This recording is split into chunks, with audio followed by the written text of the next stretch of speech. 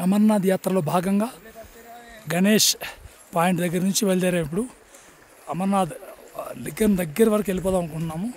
చుట్టూ మంచు oxygen levels చాలా తక్కువ ఉంటాయి ఇక్కడ. చూద్దాం ఏం జరుగుతుందో.